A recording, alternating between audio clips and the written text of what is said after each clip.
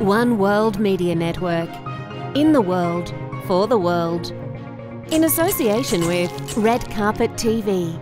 Presents.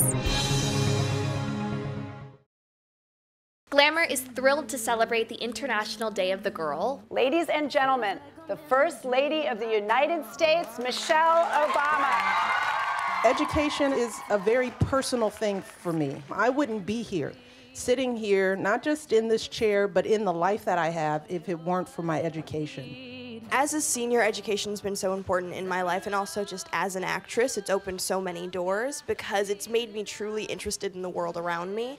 And I think my love of acting is the same reason I want to study sociology because I'm interested in I was a sociology major. Oh my goodness, Yeah. write my recommendation letter, please.